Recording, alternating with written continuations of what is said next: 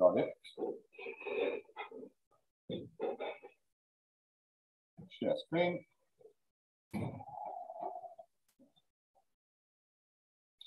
Eh, nel caso in cui non si senta fate rumore, fate qualunque cosa perché, eh, perché sennò io non, non so modo di sapere come vanno le cose perché non ho il microfono esterno che è buono che ho lasciato in ufficio. Eh, topic della lezione di oggi.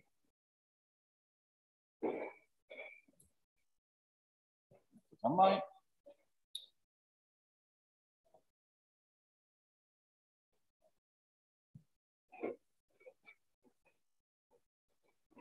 topic della lezione di oggi è un topic che, che vi, vi, è un argomento eh, che va a coprire uno degli otto esercizi del compito del sistema operativo. Quindi lezione di oggi vale un esercizio.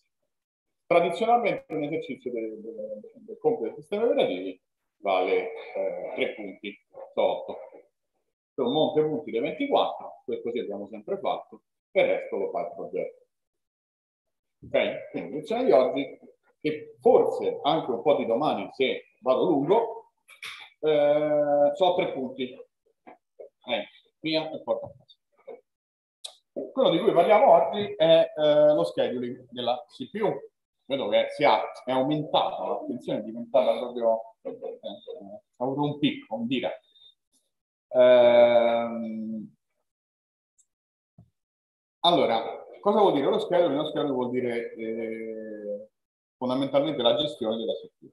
La CPU è una risorsa vista dal sistema operativo come una, come una risorsa e a valle della richiesta di, di, di, lavoro che c'è da parte dei processi per eseguire i loro task eh, sulla CPU, e quella non cambia perché eh, tu prendi un pool di processi, questi quando vengono lanciati faranno un certo insieme di operazioni. Questo qua non è responsabilità del sistema operativo, no? è responsabilità di scrivere i programmi in spazio-tempo. E quindi vi raccomando di scrivere dei programmi efficienti che non bisogno di poco CPU e quindi di poca energia per fare dei task. Giusto? E apro anche un'altra parentesi, perché io ieri ho avuto una conversazione con un collega, un amico che lavora in azienda, e c'è una tendenza in, nei posti di lavoro, un po' come si fa con la burocrazia che viene vista per creare posti di lavoro, dove se c'è un bug di un programma che è concepito male, questo bug si tende a risolvere aggiungendo linee di codice. No? Quindi, siccome se tu hai l'artrosi, oppure hai una, una, una, frattura, io non ti risolvo la frattura, ma ti do dei painkiller. Ti do dei, degli antidolorifici. Ok? Questo è quello che tipicamente si è quello per cui vedete che tanti programmi e tanti siti sono sempre più gommosi. Cioè abbiamo dei computer che sono centinaia di volte più efficienti di quelli, cioè più veloci di quelli che c'erano vent'anni fa, però tutto sommato mettiamo, è vero che facciamo pure più cose sul computer, ma quando devi editare un documento o fare delle operazioni che fai nel 90% dei casi, tu comunque ti ritrovi una larva davanti. Ok?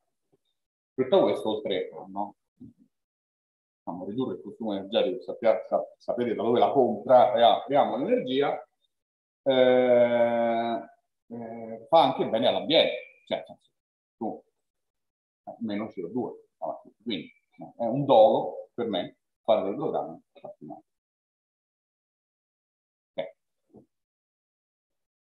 Questa è una parentesi che ripeterò più e più volte perché ormai è diventata una mia, una mia fissazione. Mm. E andiamo a parlare del, del, del, del computo, quindi il computo, l'amount di CPU che i programmi, insieme di programmi deve usare, beh, dipende dai programmi. In questo momento, da qua in poi assumiamo che i programmi siano fatti bene, perché nel caso di, uno scheduler o di un sistema no, no, si deve anche mettere nel caso, nel caso ideale. Perché adesso noi quello che facciamo è studiamo delle tecniche per eh, dare questa risorsa ai processi in maniera tale da massimizzare un certo numero di metriche, che è un po' il discorso del lavoro dell'ingegnere. No? Ottimizzi un insieme di parametri. Allora, intanto vediamo quando è che viene invocato questo magico algoritmo di scheduling, questo task, questo programma, che è eh, la cui responsabilità sostanzialmente è quella di decidere chi è il prossimo run e per quanto tempo sta del processo. Questo è il ruolo del, dello, del sito. Quando è che, che, siamo posti di fronte a questa decisione? Beh, eh, sicuramente quando un eh, processo richiede un IO, perché quando un processo richiede un IO sappiamo che la CPU non è più in carico dell'avanzamento di quel processo e um, eh, vedere se si sente.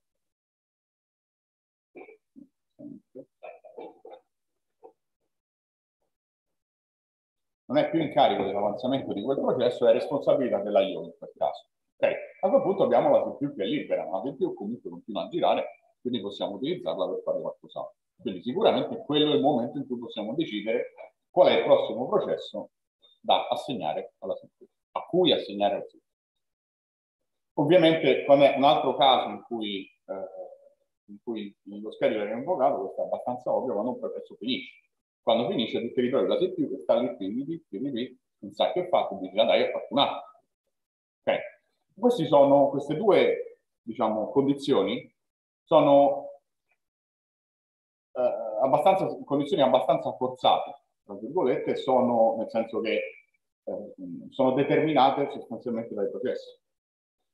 Eh, e ci sono in tutti i sistemi operativi, anche quelli non preemptive, anche quelli senza eh, stealing della CPU da parte di un processo in running, anche ne, ne, ne, nei sistemi storici. Ora, i sistemi non preemptive non è detto che siano per forza malvagi, da un certo punto di vista, perché magari per fare un certo insieme di task, non per tenerli in una workstation, possono anche andare bene. Okay. Poi invece ci sono quelli preemptive, quindi quelli in cui il sistema operativo preemption vuol dire che lui può entrare, no? può, può, sottrarre, può, può, prendere, può diventare attore, eh, sono quelli in cui la, il sistema operativo può decidere di togliere un, uh, un processo in running dalla CPU. Bene. Chiaro questo? E uh, questa categoria, io questa l'ho copiata da Silver su questa slide, e in questa categoria ricadono anche gli scheduler che nel momento in cui un I.O. termina, quindi immaginiamo che sia un processo, un processo in run, okay. a un certo punto la CPU entra in kernel perché l'entrata in kernel è determinata dalla terminazione di un I.O che arriva un'interruzione. A quel punto, una volta che tu stai in kernel, tanto hai dovuto salvare i contesti, hai dovuto fare le tue brave cose, a quel punto tu puoi decidere di assegnare la CPU a qualcun altro. Ok? E in questo senso puoi sottrarre, puoi togliere dal running corrente un processo che magari stava lì da un quarto d'ora perché un altro aveva richiesto un I.O., diceva che il tuo I.O. è arrivato. Ok? E in questo senso diventano clienti. Eh, in particolare noi, eh, questo è poi il mio problema del percorso delle slide, eh, questa è la spiegazione di tutto quello che vi ho detto nella slide precedente. Quindi Mine Multiprogramming System, eh, cioè in un sistema multiprogrammato, che sono quelli che fanno girare più, che tengono più processi in RAM, eh, lo scheduler è sempre invocato quando eh, la CPU fa quando un processo fa una richiesta di I.O. oppure eh, quando eh, un processo termina. In aggiunta a questi, tanto la ripeto, eh, i, i, la caratteristica principale degli, degli scheduler non preemptive è che tu non togli mai la CPU a un processo in running a meno che questo non faccia una richiesta. Mentre se per qualche altro motivo tu togli un processo alla CPU, allora diventi uno scheduler preemptive. Ok? Chiaro? Ora, una parte del, dello scheduler, una parte fondamentale dello scheduler, che non, fa, che non fa parte del vero e proprio algoritmo di scheduling, che è quello che deve scegliere a bocce ferme, guardando queste strutture dati che sono i PCB dei processi, nel quale eventualmente memorizzeremo delle informazioni, eh, quindi questo è l'algoritmo core di schedule, ma la parte fondamentale del, del, dello schedule è quello che viene chiamato il dispatcher. Il dispatcher è, che, è, que, è quel pezzo che uh, abbiamo visto nel preambolo e nel postambolo. Okay, l'entrata e l'uscita in kernel da parte di un, uh, del sistema. Ok? Una volta che tu entri in kernel, perché ti arriva un timer inter, oppure perché finisce una IO, allora tu devi fare, eh, puoi invocare lo scheduler. Eh, ricordiamoci una cosa, che ogni entrata in kernel e ogni volta che io sottraggo al processo la CPU, io pago un sacco. Perché pago un sacco? Perché sulle moderne architetture, fondamentalmente, quando caricate un processo, in particolare se è piccolo, questo processo entra tutto nella cache del computer. La cache ha delle, dei tempi di latenza che sono incredibilmente più piccoli, lo vedremo poi quando studieremo la memoria, però sono incredibilmente più piccoli rispetto alla RAM, alla RAM esterna. Quando tu fai un context switch significa che prendi un processo, lo butti fuori dalla CPU e ce ne metti un altro. Fare questo che cosa comporta? Comporta che la memoria di quel processo, la memoria su cui la CPU lavorava cambia, perché se prima stava lavorando sulla memoria del processo P1, poi si mette a lavorare sulla memoria del processo P2. Ma siccome la CPU in realtà lavora in cache, non lavora, non accede direttamente con le moderne architetture alla RAM, lavora nella sua cache e poi c'è un cache controller che andrà a prendere gli elementi della RAM, li copierà in cache e viceversa nel momento in cui eh, certe condizioni sono verificate. La CPU lavora nella sua cache, nel momento in cui tu sai un dispatch, vuol dire che tu invalidi le cache, perché tu ti devi, devi buttare quello che hai in cache su cui stavi lavorando, ovviamente se la cache è enorme c'entrano pure i tuoi processi, non è che questo diciamo, ci, ci, turba troppo, però eh, è una risorsa abbastanza circoscritta, limitata. In caso contrario, eh, tu quando c'è un content switch butti tutta la cache e, e la devi ricaricare col, col, col coso del, con i dati, diciamo, del processo che vai passando. Ok? Quindi questo ha un costo, un costo significativo, dipende poi dalle caratteristiche del processo. Quindi, eh, quando uno parla di salvare, eh, saving and restoring the CPU state, salvare e, e recuperare il, lo stato della CPU, sì, quello ha un costo. Ma poi, a fronte di questo, il costo più grosso che paghi, in realtà è quello che paghi perché hai votato la PC. E la devi riempire. Se salvare una baracca di registri, vabbè, qualche microsecondo. Però poi dopo andare a lavorare su una memoria che è invalidata, beh, ogni volta tu devi andare a leggere il pezzettino della memoria, te lo porti dentro, il pezzettino te lo porti dentro, ha un costo più alto. Ok? Ora, per risolvere il problema dello scheduling, quindi per affrontare e presentarvi diverse soluzioni al problema dello scheduling, che lo ripetiamo, è quello di scegliere qual è il prossimo running. Okay, quali sono i prossimi running nel, eh, nel caso di uh, più CPU. No? se ho più CPU, non ho un solo processo interno, ce n'ho n, più core, vediamola così. Uh, e quando uno affronta un problema in generale in informatica, quello che fai è cerchi di caratterizzare, ma in generale in tutto, l'ingegnere cosa fa? Cerca di astrarre, cerca di capire quali sono le minime informazioni che mi servono mh, mm, che mi serve conoscere per quel dominio che mi permettono di calcolare una soluzione. Okay. E tu cerchi di restringere il tuo modello alle sole informazioni necessarie. Se tu vuoi sapere quali processi hai in memoria, però ti interessa sapere, che ne so, eh, eh in quale finestra girano, boh, forse sì, però non lo so. Eh, ti interessa sapere chi è il programmatore che ha scritto quel pezzo? No, ci sono una serie di informazioni che non sono rilevanti. Okay.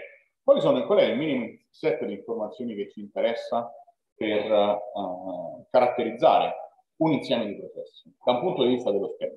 Beh, abbiamo visto che cosa, quindi adesso sto guardando solo ai processi, non sto guardando all'algoritmo di scheduling, perché poi quello sarà una cosa che io andrò definendo. E abbiamo visto quando è invocato lo scheduler. Lo scheduler è invocato quando eh, l'IO, eh, quando eh, un processo, vabbè, eh, eh, passa da, da, da, running a waiting, quindi quando un processo fa una IO, quando un processo termina, oppure quando entra il preemptive schedule, oppure quando finisce una IO. Okay, questi sono i casi in cui lo scheduler viene invocato. Quando lo scheduler viene invocato, su che cosa può basare la sua decisione? Eh, beh, una cosa rilevante che mi interessa sapere è quanto tempo ci mette, una volta che io gli do la CPU, quanto tempo gli serve, per quanto tempo me la consuma. E tu quando vai a fare la fila alle poste, A te sarebbe bellissimo se sapessi quanto ciascuna di queste persone ci mette di fronte a te, così magari sceglieresti la più corta. Okay. E poi un'altra caratteristica che mi serve è, è uh, conoscere è, è, sono i suoi siti IO bust, quindi mi serve sapere quanto tempo durante la sua esecuzione, durante un certo periodo della sua esecuzione, per quanto tempo lui prenderà la CPU. Quindi un CPU bust è un tempo tra un I.O. e l'altro in cui il processo vorrebbe usare la CPU. Ok? Il tempo di computazione di un frammento tra un I.O. e l'altro. Chiaro?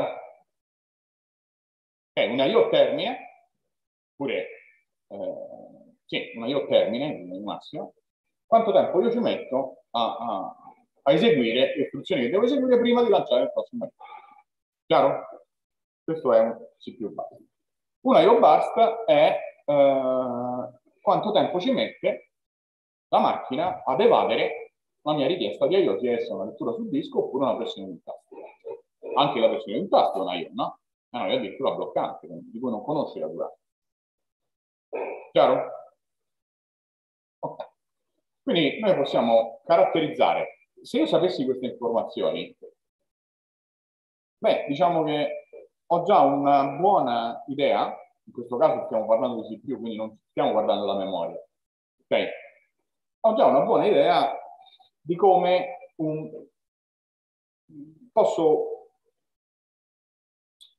decidere o posso avere un quadro di come si comporteranno questi processi una volta caricati in memoria e lanciati. Perché io so che questo processo inizierà ad eseguire, parte da un CPU burst, comincia a mangiarsi la CPU, poi a un certo punto farà una IO burst, questo IO burst mi libererà per un certo tempo, a quel punto io avrò la modo di, di, passare, di offrire la CPU a un altro processo, per esempio se poi. Ok? I processi quindi li possiamo caratterizzare in linea di massima, cioè una volta abbiamo parlato di più burst e di IO burst, possiamo avere una, subito, una, una, come si dice, un'idea di categorie di processi che sono caratterizzati dall'avere più CPU burst o più IO burst. Un esempio di un, di un processo che ha eh, forti, eh, cioè, che è caratterizzato diciamo, per degli aree robusti è il vostro editor, perché, eh, perché l'editor fondamentalmente fa poca roba. Ovviamente a meno che non usiate Eclipse o tutti questi editor qua che fanno girare il mondo dietro, no? Perché se lanciamo un programma di 20 righe tu devi lanciare l'index, no? Apri lo Gini, apri lo Emacs. Vabbè. Comunque, tu fai girare un editor, l'editor in linea di massima non deve fare niente, sta lì fermo, quando premi tasto metti, metti, metti, metti pixels, metti, metti cose, schermo, poi premi e dormire. E quello è un classico esempio di un processo che ha eh, io, eh, oppure anche la copia di un file, no? un file grosso, quando lo copi, sta lì e ti rivolgi. Processi invece che sono eh, vincolati da più bassi, beh, i programmi fatti male sono, sono, sono processi che sono più intensi, oppure i, oppure i, programmi fatti bene ma che devono effettivamente fare tanti calcoli. Un esempio di un programma che, che, è CPU dominated, diciamo, è il compilatore. Quando compilate una grossa code base, beh, fondamentalmente per rendere conto della differenza che prendete una macchina più veloce piuttosto che una macchina più lenta. Non si più, più veloce, piuttosto che una macchina provare a compilare un termine di Linux, non ci vuole più tanto, però insomma 10-15 minuti la macchina sta lì a aspettare. Se prendi una macchina più veloce si mette, eh, si mette la metà del tempo, se è due volte più veloce. Ok? Bene. Ora, quando uno va a disegnare uno scheduler, ok, io ho un processo, quindi caratterizzo un processo con un insieme di intervalli adesso usi la CPU, adesso usi la io, adesso usi la CPU, adesso usi la io. Se io so la traccia, so la storia di quello che un processo farà durante questo tempo, ho delle informazioni ragionevoli che mi permettono di simulare da un punto di vista dello scheduler quale decisione prende, cioè cosa, come, cosa succede. Ok? Perché io so che dando la CPU a un processo, beh, eh, io so che incomincerò a consumare, a bruciare il suo CPU bus fino a quando deciderò di toglierla. Ma una volta che gli ridò la CPU non è che ricomincio da prima, ricomincio da dove ho finito. Ok? Chiaro? Ma no. Allora, nel momento in cui però è ovvio che, che uh, la, conoscere la uh, traccia di esecuzione di un processo, quindi quanti CPU BART rispetto a quanti uh, o a quanti IO BART, la sequenza in cui questi avvengono no, non è ammissibile, perché magari se il programma è interattivo questa, queste operazioni dipenderanno anche dalle scelte dell'utente. Okay? O anche se non è interattivo, eh, mi è impossibile, poiché il programma tipicamente dipende dai dati, mi è impossibile sapere a priori, se io non conosco anche i dati di un processo, sapere a priori qual è la traccia di esecuzione. Perché quando, quando GCC comincerà a eseguire la CPU perché magari deve part, insomma, stressata di più perché deve fare il parsing rispetto a quando deciderà di leggere un file header. Ok, non, non lo, non lo posso sapere perché questa cosa qua dipende dal file che io ho dato da compilare. Chiaro questo? Però quello che posso fare quando non so le cose è posso caratterizzare un processo da un punto di vista statistico. Dire ok, io prendo 100 run di GCC, 1000 run di GCC sui dati più vari e monitoro i suoi comportamenti. Una volta che ho monitorato i suoi comportamenti, cosa posso fare? Posso fare una statistica e posso dire quanto eh, Uh, qual è la probabilità che un CPU BART duri, che ne so, uh, da 10 a 15 millisecondi? Qual è la probabilità che un CPU BART duri da 15 a 20 millisecondi? È, no? Posso calcolare un istogramma. Un istogramma in cui se ho la durata del CPU BART, l'intervallo di tempo in cui un processo usa esclusivamente la CPU, e sulle, ehm, sulle ordinate ho la, quante volte la frequenza in cui eh, la CPU viene usata mh, per quell'intervallo. Ok, chiaro? Ok, allora, bene, quindi quello che abbiamo fatto fino adesso è parlare di scheduling, parlare di dispatcher e parlare di, eh, della caratterizzazione eh, parlare della caratterizzazione dei processi okay, da un punto di vista relativo.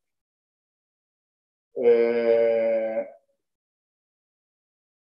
ora, quello che vediamo è, dobbiamo, fare, dobbiamo scegliere degli algoritmi che, data questa caratterizzazione dei processi, eh, si comportino in un modo meglio o peggio. Ma meglio o peggio in termini di CPU scheduling eh, c'è poco, poco da dire, insomma, nel senso che parliamo chiaro, alla fine della fiera c'è un insieme di processi. Se la CPU non l'ha tutto, io il tempo in cui questi processi, in cui questi processi verranno, diciamo, verranno eseguiti dipende da, dalle istruzioni che questi processi devono eseguire. Quindi ho un monte di tempo per eseguire questi processi che, che è, è, quello. Quindi alla fine, a prescindere dallo scheduler che io scelgo, alla fine di quando sono finiti tutti, più o meno il tempo sarà lo stesso quando sono finiti tutti. Ok? Chiaro? Perché alla fine la CPU gliela de- e quello è il tempo di CPU. Ammesso che io dia l'IO a, a, che quando sto facendo un IO la CPU la do a un altro processo, alla fine quello è il tempo di CPU che ci metterò. Chiaro? E anche assumendo che la CPU sia sempre impegnata, ci sia sempre abbastanza una richiesta di basso eh, abbastanza piena. Quello quanto scappa. Il discorso è che il vostro computer gira durante tutta la giornata, fondamentalmente, anche se molte delle volte lui non fa niente, eh, diciamo, cambiare scheduler o cambiare politica per derivare queste cose ha un senso e può trovare eh, una valutazione in diversi tipi, in diverse categorie, in diversi numeri, fondamentalmente. Ah, il primo numero che ci salta in mente quando diciamo, definiamo uno scheduler è l'uso della CPU. Ora, l'uso della CPU è una metrica che interessa non tanto il vostro laptop, anche se vi interessa da un punto di vista energetico tenerlo basso con i vostri processi, ma, ma vi interessa nel caso in cui, per esempio, eh, lavorate su un cluster. Sapete che molto spesso adesso che stanno con cloud computing, dove la gente computer non ce l'ha più sul desk, ma compra tempo di CPU. Okay? Oppure magari compra tempo macchina. Ma se tu compri tempo macchina, se ti compri una macchina, se affitti una macchina pesante, beh, a quel punto tu la vuoi usare al massimo. Quindi in questo tempo, in questo intervallo, tu vuoi usare quella risorsa per eseguire, no, non è che devi eseguire cose che non servono, ma devi eseguire tutte le cose possibili, devi utilizzare quella CPU al massimo. Ok? Quindi una metrica di uno scheduler sicuramente è l'utilizzo della CPU e quanto efficientemente uno scheduler mi permette di utilizzare la CPU. Se uno scheduler, per esempio, quando un processo fa una I.O. non fa niente, quindi non c'è uno scheduler, ma si mette a dormire e aspetta che la I.O. finisca. Per esempio, era il caso del sistema monotask, no? Quando io faccio una I.O., invece di dare CPU a un altro, mi metto lì a aspettare che la I.O. finisca. Okay. Ho un pessimo utilizzo della CPU perché in tutto quel tempo la CPU potrebbe fare tutto, ma per caso lo buco. Ok, ovviamente la CPU utilization si intende user time, perché posso pure averci un sistema fighissimo, vegliardo, che, che fa l'algoritmo migliore, ma se per calcolare qual è il prossimo processo che viene eseguito ci mette un quarto d'ora, e, e que, quello lì non è tempo di CPU valido che io sto usando per i processi, per lo user stesso, lì è tempo di CPU che io sto usando per decidere, per pensare, per, per fare burocrazia o cose del genere. Ok? Quindi, uno è tempo di L'altra cosa eh, che possiamo misurare è il turnaround time, il tempo che io ci metto a completare il processo. Ovviamente il turnaround time medio, misurato come il tempo che intercorre tra quando il processo si presenta e quando il processo termina. Ovviamente questo ha poco senso per i processi interattivi, perché i processi interattivi come un editor, per loro non, non ha senso tanto misurare il turnaround time in quel caso perché, perché beh, sei tu che decidi quando, quando chiedere la lavoro. Però magari ah, può avere senso nel caso in cui tu lanci una compilazione parallela. Okay. Lanci la compilazione di un processo, mi interessa sapere quanto ci mette. E quanto ci mette magari dipende da quanti core sto utilizzando, perché io sto, se, se io durante la compilazione lancio una compilazione parallela in cui ci metto 20 core e io sono solo 10, Beh, io presumo che ci sarà un context switch, mentre tutti questi processi vanno, vanno avanti e quindi la compilazione del singolo file ci mette di più. Ok? E poi magari ci avrò tanti context switch e mi, fa, mi fanno ancora aumentare il tempo. L'altra metrica è il throughput. Allora, tutti metti in questo caso in un senso temporale, qua pensiamo a una, un cluster le macchine, ti metti diciamo, dentro questa catena di montaggio dove ti arrivano processi in continuazione, a quel punto ti interessa sapere quanti processi termini, quanti processi eh, completi nell'unità di tempo. Quindi prendi tutti i processi che c'hai dentro la batteria, ne dividi quel tempo che, che ci metti e, e cioè, prendi il tempo che ci metti a fare tutti questi processi e vedi quanti processi termini in unità di tempo. Okay. Ovviamente se il tempo è tutto l'intero orizzonte, anche anche il turnaround time non ha senso, perché anche cioè, tu devi vedere questa metrica mentre i processi arrivano. Chiaro? Se tu prendi tutto l'orizzonte temporale, beh, eh, alla fine, diciamo, questo fa poco. L'altra cosa che ci interessa è eh, il tempo da waiting time, e questo vale nel caso del waiting time, il tempo d'attesa. Questo si misura semplicemente è, il tempo che um, un processo passa nella di rete. Cosa, vuol dire che è un processo nella coda di reti? Vuol dire che ha tutte le risorse tranne la CPU. Quindi quello è proprio tempo su tempo di CPU che se ci fosse solo quel processo lì, lui potrebbe andare avanti molto più velocemente. Ok? Chiaro? Quindi è waiting time. L'ultimo è il tempo di risposta. Il tempo di risposta è, si misura dicendo quanto tempo ci mette, quanto tempo passa tra eh, la fine di una I.O., quindi da quando fai conto premo un tasto, ok? La fine di una I.O. al prossimo I.O. Ovviamente questo dipende anche dal vostro programma, eh? però assumendo che il vostro programma abbia una risposta, perché si presume che dalla fine di una I.O. alla richiesta di I.O. successiva, dove si presume che il programma produca una risposta, quindi immagino un editor, premo un tasto, vedo carattere. Il tempo che passa tra quando premo tasto e vedo carattere, forzosamente parlando, è il tempo di risposta. Ok? E questo, anche questo è, diciamo, immaginare X un sistema multitasking, anche questo qui ha un senso. Ovviamente anche il tempo di risposta va misurato pensando che il processo ci metta poco tempo. Perché se il processo si mette in giorno a fare il suo lavoro, lì non è colpa dello, del polo scheduler che sta lì a macchinare, no? Ok? Allora, ovviamente, che cosa vogliamo fare quando costruiamo uno scheduler? Vogliamo massimizzare certe cose, quindi vogliamo massimizzare l'uso dei CPU. Certo, ho comprato questa macchina, ci ho messo un sacco di soldi, ho comprato una CPU corazzata, ora la voglio usare con programmi che veramente necessitano eh, l'uso. Quindi massimizza l'uso della CPU per fare un buon lavoro. E l'altra metrica che ci interessa massimizzare, immaginiamo che io questa macchina, di questa macchina ne vendo il tempo macchina delle persone che mi danno i processi e mi pagano per farli girare su questa macchina, beh, in questo caso mi interessa massimizzare i soldi che prendo, che vuol dire che il numero di processi che questa macchina fa nell'unica vita. Okay. E poi d'altro canto io come utente voglio minimizzare il turnaround time, beh, meno tempo ci mette, ci metto a avere la risposta, quindi sono contento. Waiting time e response Okay. Ma come ho già detto, per descrivere un processo, come, cosa possiamo fare? Beh, possiamo descriverlo come una storia di eventi, quindi possiamo descriverlo come un tempo d'arrivo, quando immaginiamo adesso di fermarci e di descrivere quali sono i processi, di, dover scrivere su un pezzo di carta dal punto di vista dello con, qual è la storia dell'esecuzione di un certo insieme di processi. Ah, quindi ogni processo sarà caratterizzato, caratterizzato da un tempo d'arrivo, e poi da una sequenza alternata di C più basta e IO basta. C più basta, faccio dei calcoli e poi stampo il risultato, oppure leggo un input da tastiera, oppure apro un file. Ci metterò del tempo ad eseguire questa operazione di apertura da tastiera. Questo IO, poi una volta che ho eseguito questo IO, beh, allora ritorna una rimanente più basta. Ok? IO, IO, ok?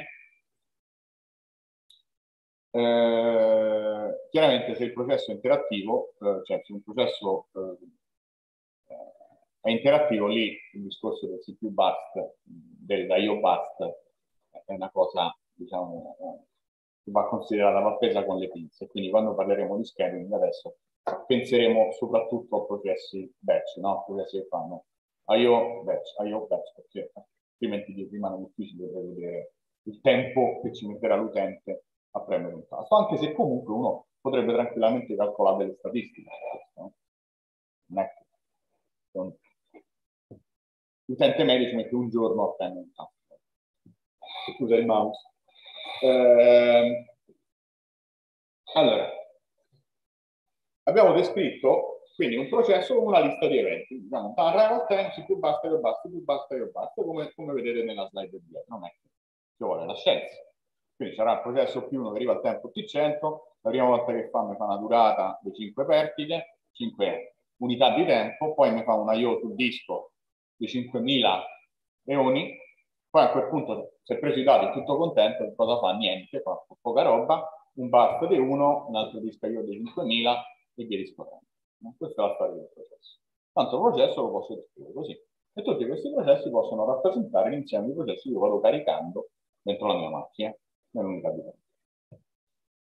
Allora, come faccio a, dato uno scheduler, quello che adesso vedremo è la simulazione di diversi tipi di scheduler, diversi algoritmi dello scheduling, dato un insieme di descrizioni del processo. Okay? Quindi quello che vedremo è, vedremo dei grafici che hanno sull'asse dell'x il tempo. Poi abbiamo una riga per risorsa, quindi una riga per la CPU, una riga per il disco 1, una riga per il disco 2, una riga per il disco 3 e via discorrendo. Okay? Quello che succede è che mentre passa il tempo, noi dentro questa riga, questa barra, scriveremo nell'intervallo di tempo in cui la CPU usa il processo P1, scriveremo P1. Ok? Poi a un certo punto passiamo, la, lì fa una IO, se usa il disco 1 incominceremo a colorare la barra del disco 1 per la durata in cui, per la durata di questo IO basta. Chiaro? Sì? No? Ok. Eh, ovviamente se abbiamo più CPU è facile, no? più barre, ho scritto CPU. Bene.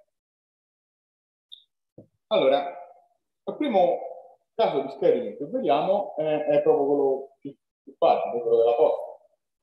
Chi prima arriva eh, viene servito prima, a meno che non c'è qualcuno che ti passa davanti. No? Che c'è questo. È facile. Eh. È, è, è, il peggiore che esista, però va preso perché è lo scheduler più semplice che si possa fare. Che cosa fa FCFS? Beh, l'idea è che lui prende, ha la coda dei redi e prende la coda di redi e prende dalla coda il primo processo che è in redi. e gli lascia la CPU per tutto il tempo, per tutto il burst, fino a quando questo processo non fa una IO. Quando questo processo fa una IO, che cosa fa l'FCFS? Lo prende e lo mette nella coda di waiting. Quando la IO termina e prende il prossimo affiorante dalla coda di ready e lo mette in run.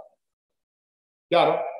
Quando la IO del processo che stavo facendo se termina, sia questo processo lo mette in coda.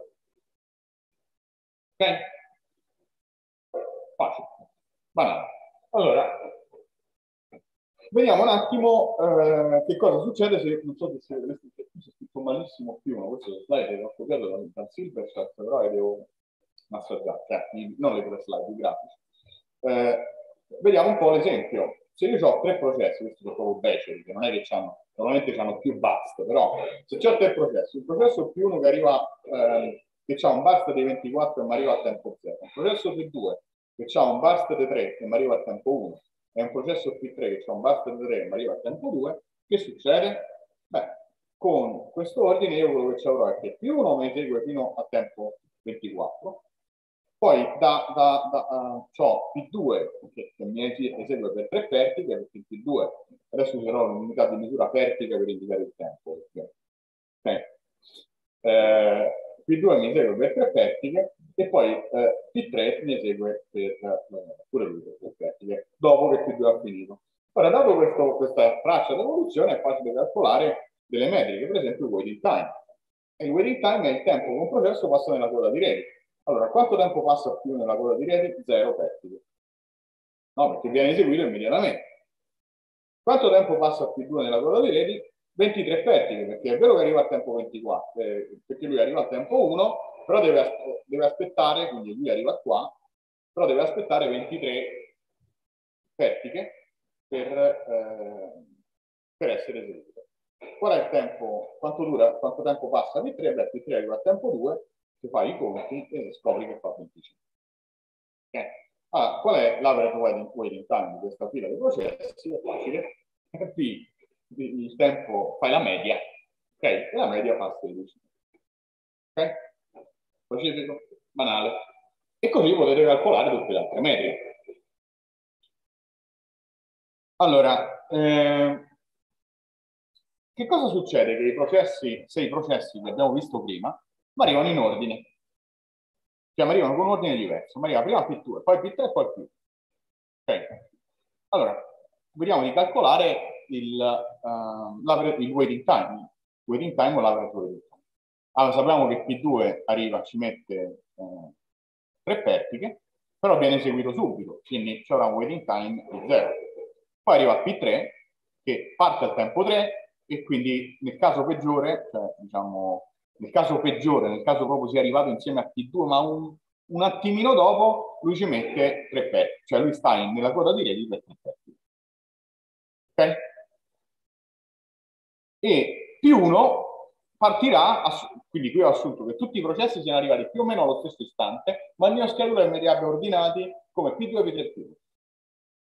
Uh, quanto passa te, quant, quante vertiche passa dentro, dentro la coda di reti più 1? Solo 6. A questo punto io ho un tempo d'attesa molto più basso.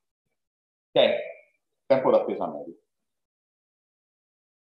Poi è chiaro che i, i, la, una volta che più uno sta in CPU, lui ci metterà tanto tempo, ma non c'hai la sensazione terribile che hai quando tu stai alla posta e ti arriva, vuoi, vuoi, prendere una raccomandata e ti arriva il signore che ha no, il muletto pieno di, di, di, di uh, bollettini da pagare, no? Questa è una, una situazione terribile. Cioè, tu, a quel punto dici, ma perché non fanno una fila per i processi veloci? Oppure scusa che mi fai passare avanti al supermercato, c'è solo un'aranciata, classica cosa.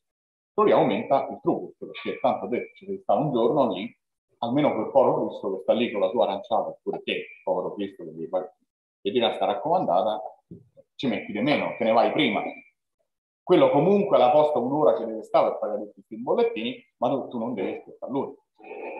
Quindi c'ha senso eh, eh, quello, quello, che ho descritto prima l'uomo è l'effetto convoglio, cioè l'effetto di un processo che potrebbe essere preso e buttato fuori dalla macchina in tempo breve, magari liberando anche memoria e altre risorse, sta lì a aspettare nel frattempo occupa memoria e quant'altro perché c'è un processo più lungo che sta lì. Quindi questo è il grande dramma dell'FCFS. Ups. Allora, questo già ci fa capire che, che, eh, che mh, la politica migliore per ridurre il tempo d'attesa in uno schedule batch è quella di, waiting time, scusate, è quella di eseguire prima i task, eseguire prima i task che ci mettono di meno. No? Non c'ha senso? In questo modo tu evadi sempre eh, i task più, più, più rapidi. No? Mi sembra ovvio. Eh, il problema, ecco, scusate, ho scambiato queste due slide. Allora, eh, c'è un, un, problema nel momento in cui andiamo a, a, implementare questa politica che si chiama short job first.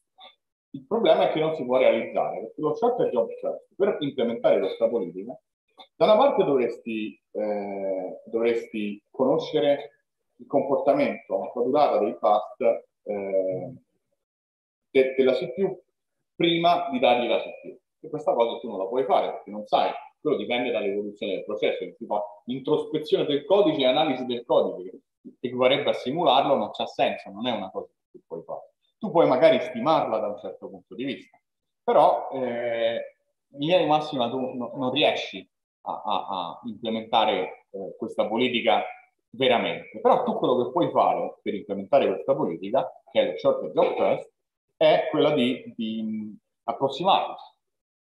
Come fai ad approssimarlo? Come fai a stimare? Praticamente implementare lo short job test, che è il tipo di schedule uguale all'FCFS, però che come politica io adesso che cosa faccio? Do la CPU al processo che ha il CPU bus più corto. Eh, così facendo tu massimizzi chiaramente il throughput, ok? E anche il, minimizzi quelli.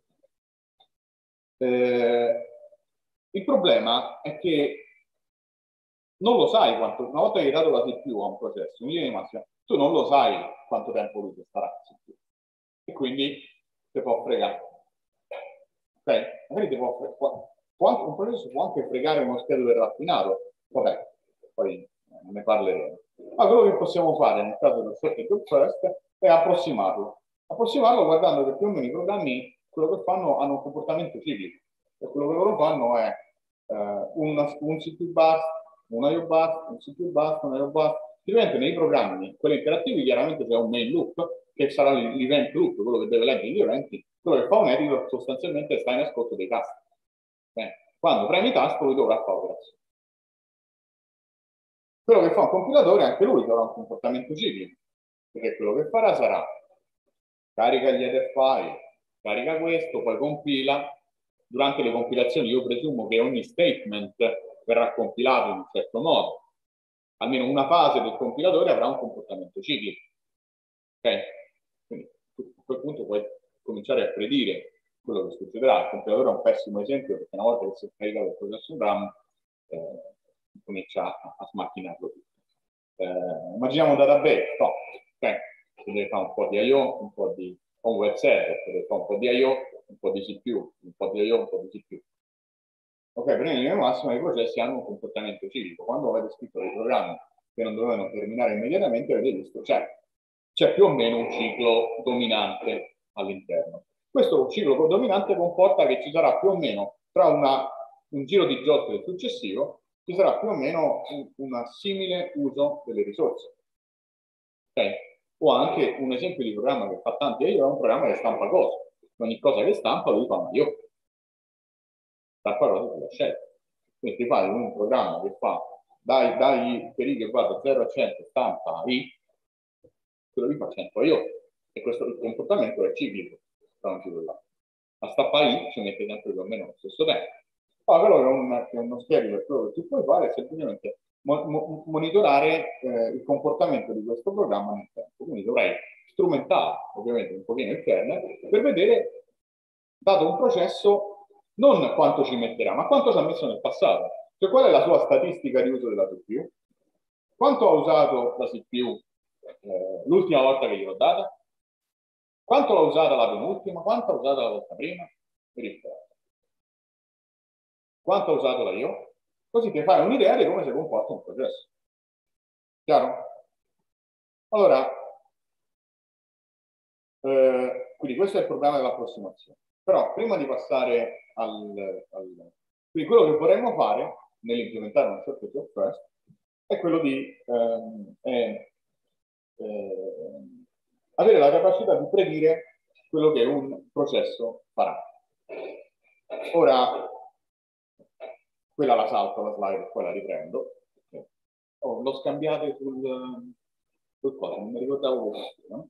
Quello che si fa è che sul Silvershot, se, se avete trovato una versione del Silvershot, eh, no, abbastanza cosa, una cosa molto semplice che si può fare per, per caratterizzare il comportamento di un processo è, prima cosa, la cosa più semplice è dire il burst successivo sarà più o meno uguale al burst precedente.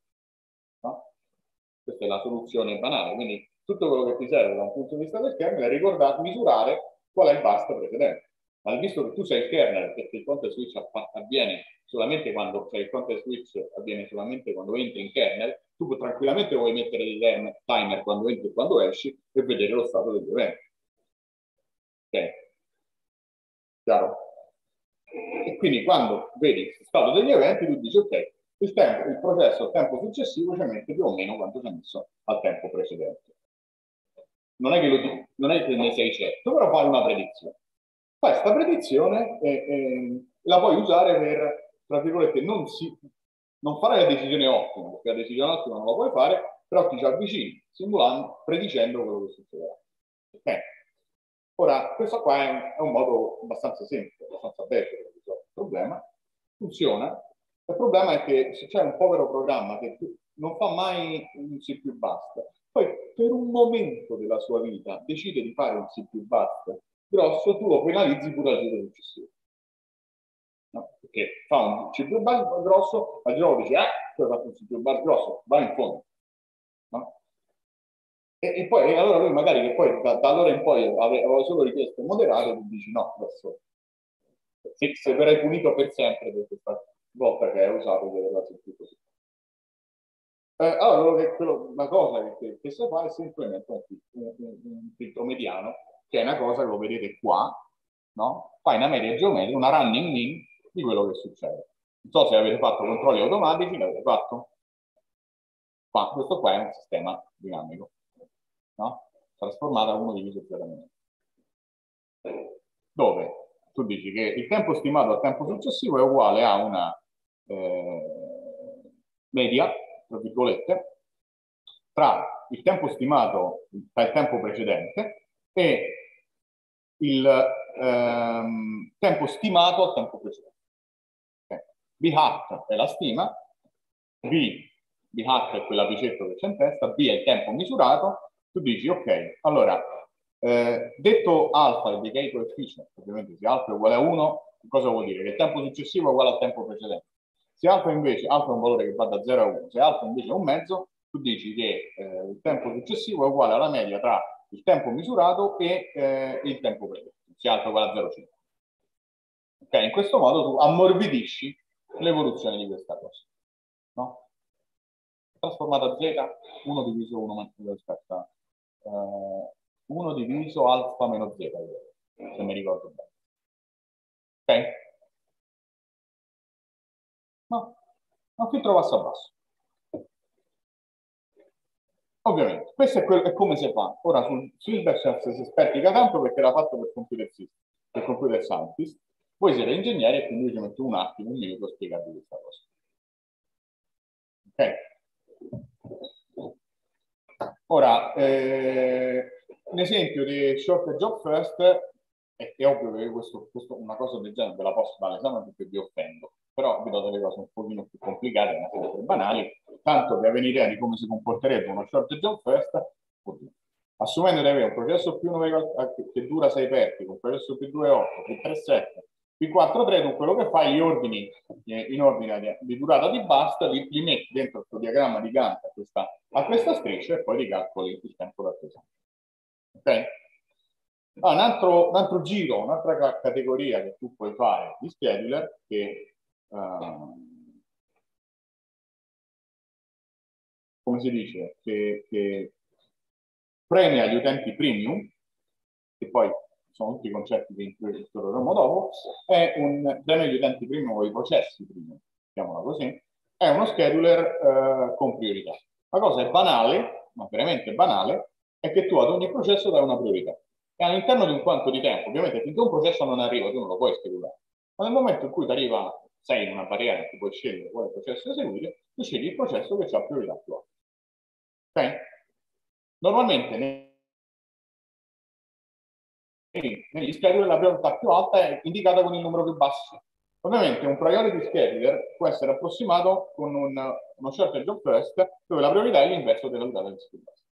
Quindi più è corto eh, più basta, più alta la priorità. Ok? Allora, quali sono i problemi del, del, dello shorter job first e del, anche del priority scheduler? Al primo è, è, è la starvation. Se a me mi continuano ad arrivare processi a bassa priorità, o cioè scusate, a basso quanto o ad alta priorità, io non eseguirò mai il processo che magari poveraccio stava lì in attesa di eseguire per tre giorni. Chiaro, perché ad arrivare dei processini che ci un attimo verità, come quando fai il supermercato, alla spesa ti arriva uno scusa, sono solo un'aranciata, passa. Poi ti arriva un altro scusa, sono solo un pacchetto di gomme, passa, no? E tu stai lì con questo carello con la gente che ti continua a passare davanti, no? Questo è il problema.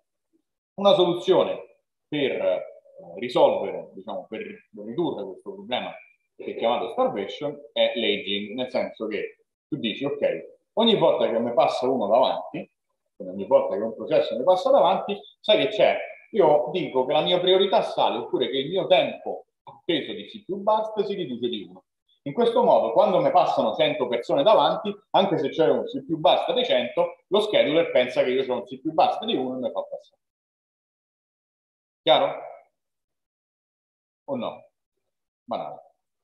Ad esempio, priority scheduler penso che sia quasi offensivo, se ve lo faccio vedere, allora, questo è il processo, questa è la priorità, questa è la arrival time. Quello che, quello che, dovete sapere è che quando arriva un processo, anche la creazione di un processo può, può comportare, ovviamente quando arriva un processo lo fai tra virgolette in modalità kernel, anche la creazione di un processo può provocare l'eviction di un processo che stava in running. Chiaro? Eviction vuol dire quando lo tolgo da running e lo metto dentro a rete. Quindi se me parte, allora, qua qual è l'ordine? Il primo che mi arriva è più 1, più 1 comincia a eseguire, che priorità c'ha? C'ha priorità 3, dico, che è il prossimo che arriva? La prossima cosa succede a più 2, quindi più 1 esegue per un quanto.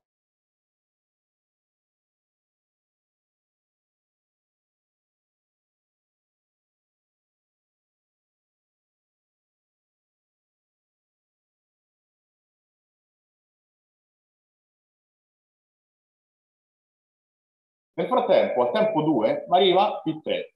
Però P3 eh, ha priorità 4, io sto eseguendo un processo a priorità 1, mi tengo P2 nella CPU. Quante vertiche me lo tengo? Me lo tengo, me lo tengo per, per 5 vertiche, per tutta la sua durata. Arrivo alla terminazione di P2 e a questo punto chi ho dentro la coda di reti? Ho P3 e P1 e mi è arrivato pure P4 che ha priorità 5, quindi quello sta in fondo. E, e chi è che, che mette in CPU? Beh, ehm, prendo quello a priorità minore tra quelli che ho, quindi riprendo P1 ma più uno già gli avevo, gli avevo dato un quanto e quindi più uno mi segue per 10 quanti. A questo punto più uno è finito, chi è che vado a pizzicare? Dentro la lotteria di qual è quello che ho vivo con la priorità più bassa P3, metto P3, metto P3. Faccio più. Quindi noi andiamo nel momento nel momento in cui arriva, negli esercizi facciamo così. Ora, queste sono tutte belle cose. Eh, altra categoria, quindi questi sono tutti scalone batch. Tutte queste nozioni che abbiamo visto, priority, eccetera, eccetera, valgono per degli scheduler che vengono attivati solamente quando o un processo termina o chiede una IO oppure ne creo uno. Ok? Questi sono i momenti in cui un processo... Adesso passiamo invece a degli scheduler preemptive, in cui quindi la CPU può essere sottratta, c'è un processo in running, può vedersi la CPU fregata anche, anche se lui non, non la cede esplicitamente. Allora, eh,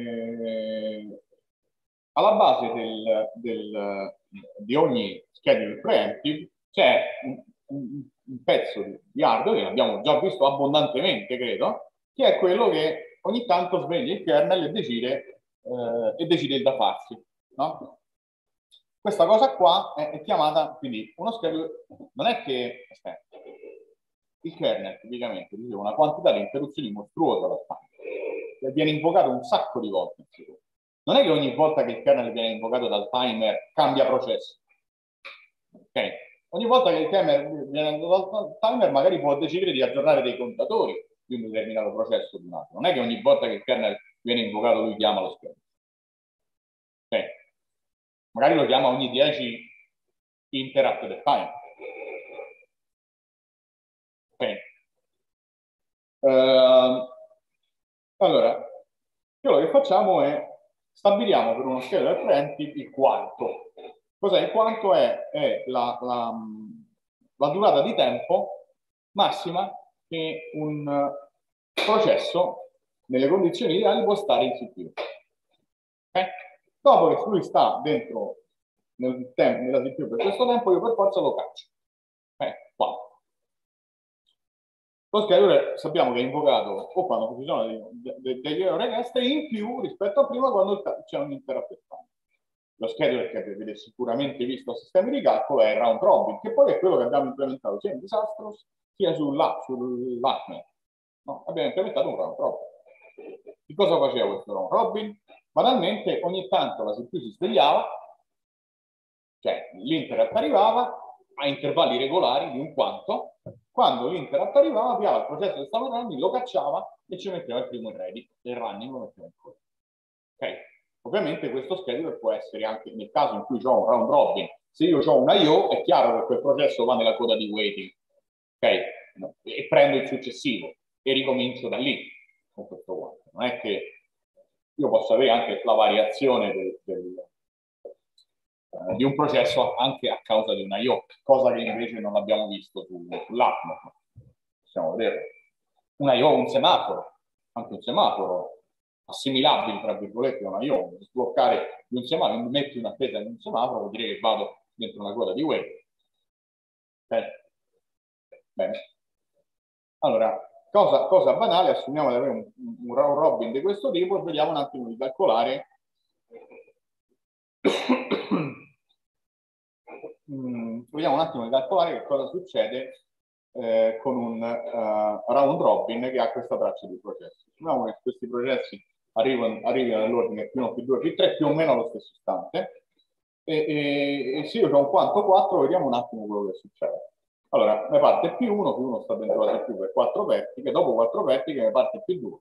Pacifico, parte più 2, più 2 termina addirittura prima del quanto, perché il quanto era 4, quindi avrò più 3 e poi ho un certo numero di volte più 1. Allora, io sicuro, quello che, che, avrò, che avrò un turnaround eh, che è il numero di processi, aspetta, qual era? Mi devo ricordare tutti. Turnaround è il, il tempo ok, la so. Turnaround è il tempo eh, di esecuzione di un processo. Quindi da quando un processo si presenta a quando termina. Ok? Questo è il tempo di turnaround. Il tempo di turnaround del round robin è peggiore del tempo di turnaround dello short job first. Perché? Perché lo short job first la CPU la usa sempre, tra virgolette.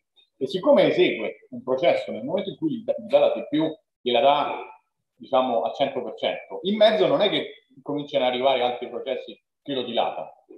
Chiaro? Quindi tipicamente ha un tempo di turnaround, quindi il tempo di completamento di un processo su uno schedule round robin è tipicamente più alto, perché in mezzo esegue durante, cioè, perché ne girano la CPU la dà a più processi. Per esempio P1, se voi misurate, prendete questa traccia di processi, vedete il round robin e vedete lo short job first, vedete che lo, lo short job first avrà un termo, tempo di turnaround, quindi tra quando arriva e quando la sua esecuzione termina, più basso di short job first. E cioè short, short job first è più basso del round robin. Okay? Perché? Perché il tempo di turnaround di più 1 lui parte qua, poi nel mezzo gli compilano P2 e P3 e poi finisce qua. Ok? Eh, quindi è più alto, però ha una, chiaramente una risposta migliore. Okay. Risposta migliore vuol dire che eh, è quello del, del, che tra quando tra la fine di un I.O. e il, il, tra la terminazione di un I.O. e um, il, um, l'issuing della successiva I.O. Perché? Perché io non devo aspettare tutti i processi che avevano dei quanti più, più piccoli di me eh, di essere eseguiti nella loro interezza. Io nel frattempo riesco a mandare avanti le cose perché prima o poi un po' di CPU ce l'avrò e quindi riuscirò a completare il task, comunque a produrre il prossimo output in maniera rapida. Chiaro? Ah, quanto dura il 4? Quanto che ci avete su Linux, io credo che lo potete configurare da, da, kernel oppure da grab, credo che sia intorno ai 10 millisecondi, però mi posso sbagliare. Sui vecchi Linux era addirittura di 100 millisecondi. Botto.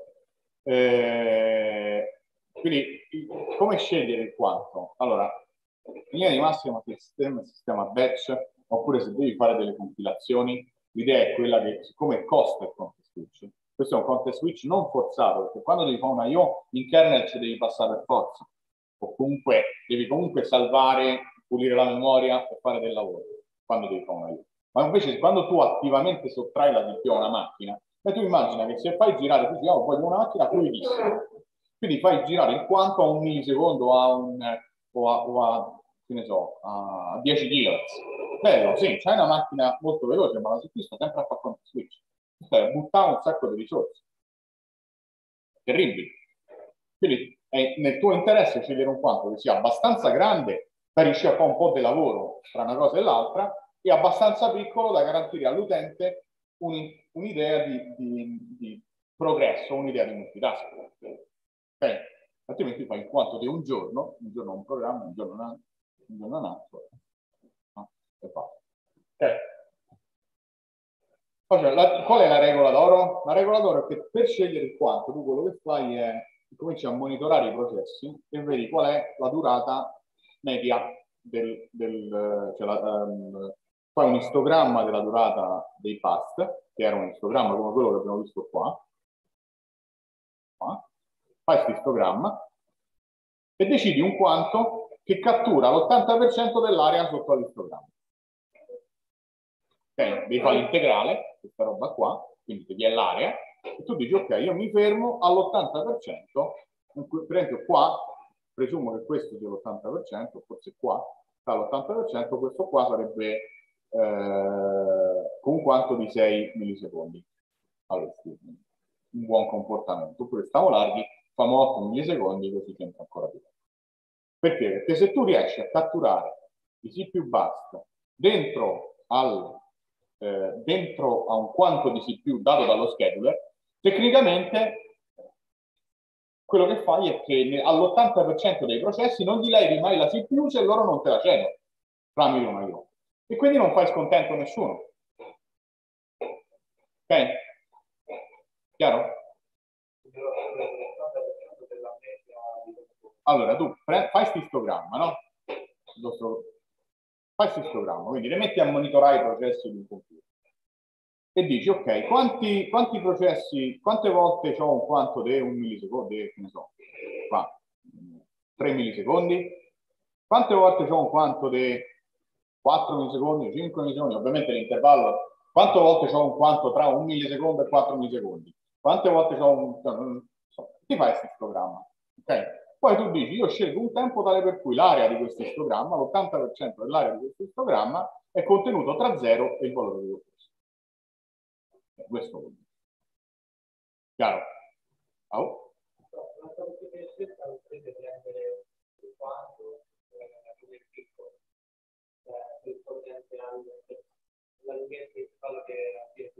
Allora, eh, beh, se c'hai, beh, tipicamente è così, però se c'è una distribuzione multimodale, cioè quindi se c'hai più picchi, vabbè, però in massima hanno sta forma, sono tipo un po' esponenziali. Eh, ehm, io starei, allora, se tu fai così, beh, qui c'è ancora tanta probabilità di mass, no? Beh, se tu, il vostro collega dice mi conviene prendi il picco, ma se tu prendi il picco di questa distribuzione, tu hai ancora tanta area fuori. vuol dire che tutti questi processi che stanno qua, quelli che hanno votato per questo quanto, subiranno una force detection, quindi vengono penalizzati da un forte switch. Se tu dici, come sai che c'è, allargo un pochino, aggiungo un pelino di latenza, però in questo modo quanti conte switch ti salvi? Ti salvi tutti questi conte switch non necessari qui. Poi l'80% è una rule of thumb, no? Sono una regola così del pollice. Eh, l'80%, questo è quello, una politica che io ho trovato sul sito. Cioè, fosse per me, io vorrei vedere meglio questa distribuzione. Cioè, come farei, se dovessi da robotico, se dovessi fare un'analisi per catturare le cose, mi farei, vorrei vedere bene qual è la distribuzione. Dall'altra parte vorrei sapere qual è un tempo accettabile di conte switch, tale per cui l'utente non incomincia a, a offendermi, no? e, e, poi anche qua, qual è l'uso di quella macchina, quanti processi l'utente ci, ci, fa girare, perché un conto so io che, che tipicamente tendo, tendo a, a, chiudere i processi, a parte le scelle che tanto stanno a dormire, però tendo a chiudere i processi abbastanza rapidamente, io ho un collega che si, lui la, la macchina non la spegneva mai, aveva una quantità di processi aperta all'infinito e, e, e, quindi li teneva lì, pure quelli lavorano no? perché stanno nel kernel, in quel caso lui avrebbe avuto bisogno di un quanto di tempo basso. Cioè, perché? Perché dato un processo, il tempo in cui lui si ripresenta la CPU con un round robin, vuol dire che tutti gli altri processi si sono passati. Quindi se io magari me la cavavo con quanto di tempo di 10 millisecondi, perché ho tre processi, e quindi dopo 30 millisecondi la, la, la, la macchina mi ritorna al, al, programma che sto usando, se tu hai 50 processi che ti stanno a, a, a, donfolare sulla CPU e, e c'hai un quanto di 10 millisecondi, beh, devi aspettare 500 millisecondi prima che, te, eh, ti ritorni la CPU. Chiaro, quindi dipende anche da quali processi hai, eccetera, eccetera, volendo fare una scelta ottimale. Uh, ok, questa è la regola. Allora, in linea di massima, quello che si fa su un computer, anche su Linux, c'è uno scheduler particolare che mi pare è carino, andate a cercare Linux Completely Fair Scheduler, è lo scheduler che usa Linux. Eh, però qua parliamo di, di, di, cose, di, cose, classiche, che poi è stato rimpiazzato da uno scheduler in OD1, eh, qua parliamo di cose classiche, vediamo un attimo. Eh, quello che abbiamo capito è che in funzione del tipo di, di, di applicazioni che girano su una macchina e dell'uso che ne faccio, eh, posso volere uno scheduler piuttosto che un altro. Per esempio, se io sono interessato nel massimizzare il throughput, io vorrei avere una shortage of first. Perché? Perché lo shortage of first è quello che mi usa la macchina al meglio. Fa zero context switch non necessari, e cerca di eseguire tutte le cose possibili. Magari potrei, per evitare il problema della starvation, cambiare questo shortage of test e introdurre un fenomeno di aging, di, di aging sul, um, sul, quanto di tempo. Okay? Però lo shortage of first faccio fatica a caratterizzarlo se io non so quanto effettivamente eh, funzionano i processi. Quindi magari potrei investigare quello che faceva Tijani, il, il suo gruppo, che erano i vecchi system group eh, della sapienza, quello, loro investivano un sacco di risorse nello stimare le caratteristiche dei processi, perché poi questo gli permetteva di tunare lo scheduler in maniera eh, migliore o peggiore. Quindi machine learning e cose del genere, diciamo, lato processi. Mm, però assumendo di avere da contratto una, una, una, certa durata, il migliore sarebbe lo short job. Il problema è che non so. Eh, ci può avere dei processi che quando girano dopo un po' eh, cioè che decidi di lanciare a bassa priorità, perché? perché magari sai che ci metteranno del tempo e nel frattempo il computer lo vuoi usare. Ti faccio un esempio, se tu fai una build del kernel, non del programma che stai usando te, ma stai, stai a fare la build di un programma di un altro, e a te quello che interessa è solamente l'eseguibile di quel programma. Cioè, che poi dopo dovrai chiamare, per esempio, voglio buildarmi GIMP o voglio buildarmi GCC. Lo dice, a me non è che mi interessa e fare l'editing, cioè, DCC lo prendo e sta lì, però voglio l'ultimissima versione, me la scarico da consorgente e la compilo. Se te ti interessa fare una cosa del genere, che, cioè, non è che se, cioè, non stai lì con l'orologio perché ci mette parecchio il compilare, ma tu lo mandi in background, diciamo, lo mandi a bassa priorità. Eh, Se invece stai usando un videogioco, magari ti interessa un'altra cosa, ti interessa che i tempi di reazione della tua macchina siano molto veloci, ok? Interessa che le cose ti ottimano. Se stai usando un editor, anche fino a un certo punto, cioè, poi fino a fin tanto che la latenza di pressione di un, di un, di un tasto non è misurabile dal tuo, quindi parliamo sotto ai, credo, 30 millisecondi, 40 millisecondi, cioè quindi se, se, tu quando prendi un tasto hai immediatamente l'impressione che, che, il carattere appare, no, stiamo bene così, non è che deve andare più in basso, a parte 30, 30 fps all'otto, quindi sotto i 30 non è che scende. Okay. Uh, quindi il problema è che un povero scheduler, un povero kernel non lo sa quali processi cioè non è che il kernel c'è una lista dei processi e dice ah, questo è sì, lo mando a bassa priorità, perché comunque lui deve compilare. Perché poi può essere pure il caso che tu stai compilando perché stai a fare un programma, e allora dici dai, dai, dai, che compilatore, no? Non so se è successo, ma sì. Eh, e, e, quando fai delle build grandi. Eh, eh, oppure può essere che, che il, eh, che il kernel non lo sa che cosa la tua applicazione fa. Eh, stanno a lungo, no? Eh, allora, che cosa possiamo fare? Possiamo farglielo stimare. Quindi possiamo cercare di capire dentro al kernel, in funzione delle quantità che possiamo osservare, come si comporterà un'applicazione piuttosto che un'altra, in maniera tale da caratterizzare. Abbiamo, abbiamo, già detto che uno scheduler round robin magari è, è, una cosa buona se uso dei processi interattivi, è una cosa meno buona se uso dei processi interattivi. Okay? Quello che possiamo fare, oppure anche il quanto del mio round robin, cambia in funzione della categoria del, del, del processo, perché se io ho un processo che fa dei piccolissimi basta, però ne fa tanti, a me mi interessa avere un quanto piccolo.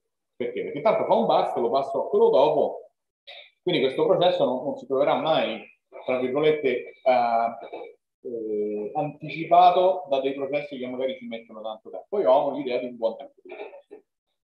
Allora, l'idea è quella che tu potresti avere nella tua macchina n scheduler diversi, con n code diversi, e spostare un processo da uno scheduler all'altro, magari lo stesso scheduler ma con dei parametri diversi. Potresti avere uno scheduler round robin con un quanto da un da 10 millisecondi, uno scheduler round robin con quanto da 100 millisecondi, uno scheduler round robin con quanto da, insomma, oppure uno scheduler short job first in fondo se decidi di mandare in fondo delle cose, insomma, puoi avere più scheduler che concorrono.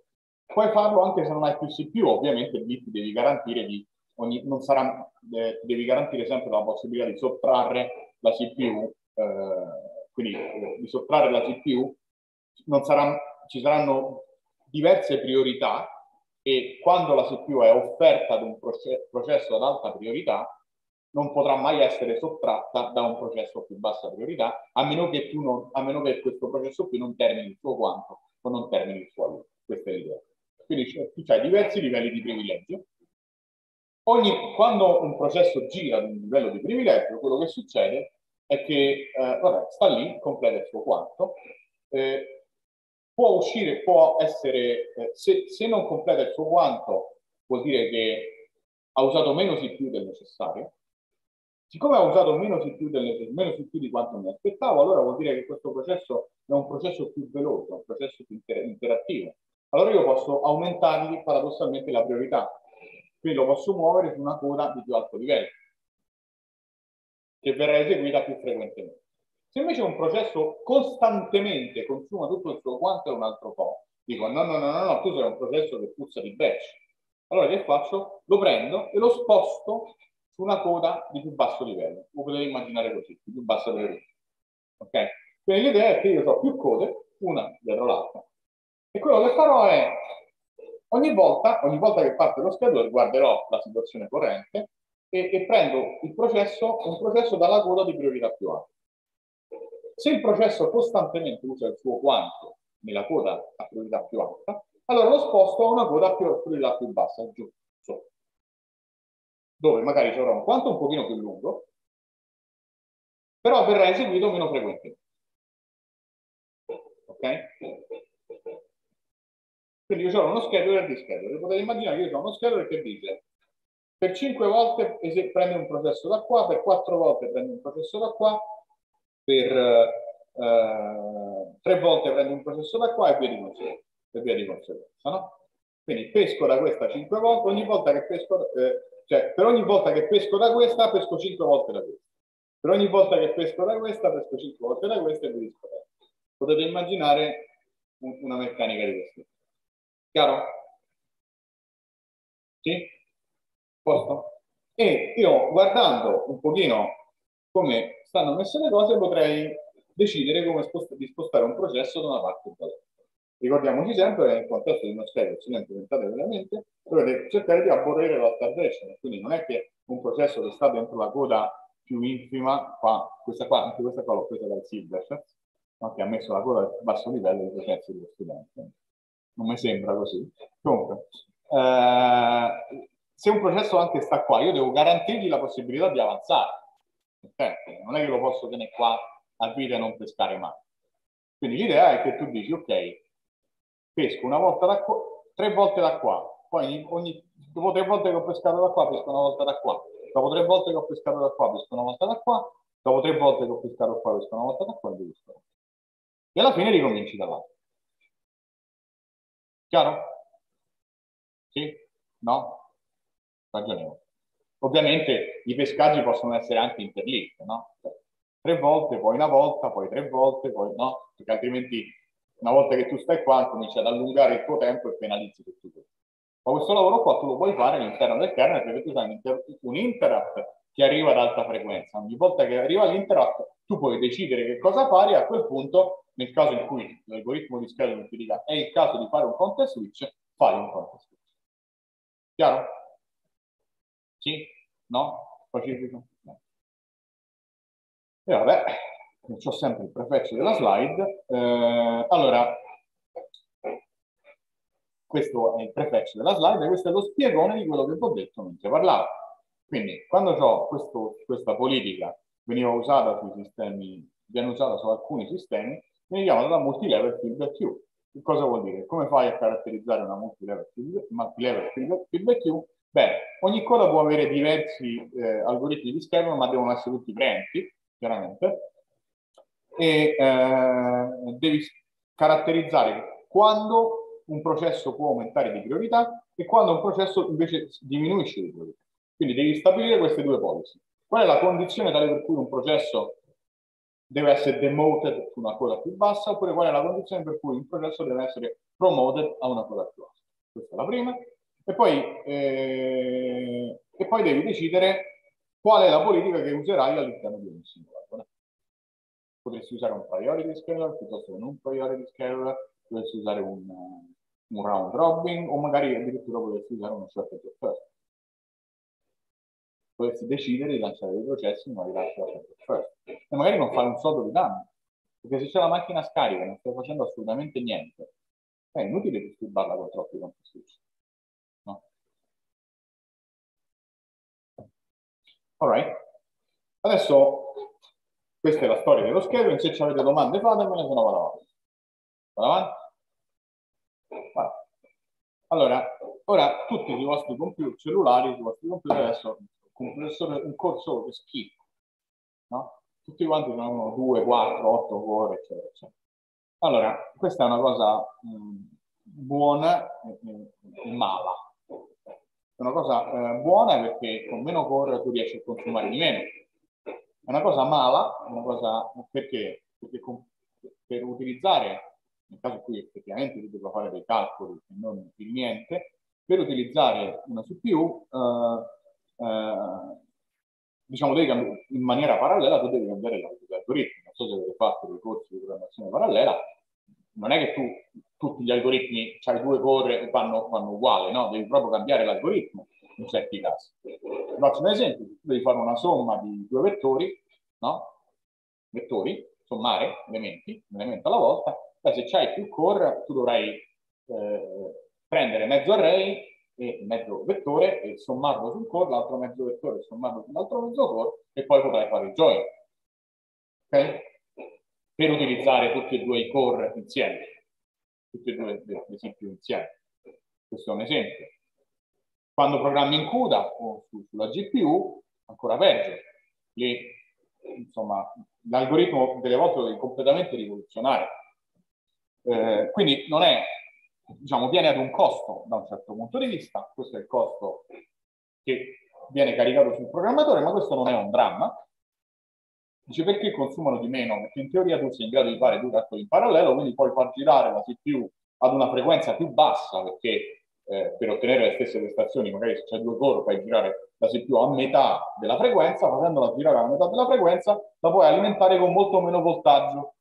Alimentandola con, con molto meno voltaggio, cosa succede? Che le capacità parassite, che sono quelle che scaldano, dentro la CPU sono più basse e quindi la CPU andrà in maniera più economica, cioè consuma meno energia.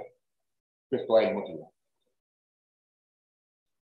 Quindi questo è buono. È malo perché la gente li misciuta, no? Cioè io quando mi porto a vedere le persone aprono dei thread come se fossero delle finestre, no? Oh, abbiamo thread, no?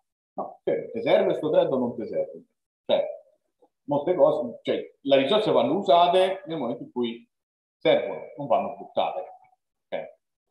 Ehm, ok, allora, per parlare di, di, di, di uh, uh, sistemi con multiple CPU, beh, eh, abbiamo nella storia, io ho avuto il Commodore 128, uh, eh, che era un com computer, un computer, che aveva due CPU, una 080 e 6502.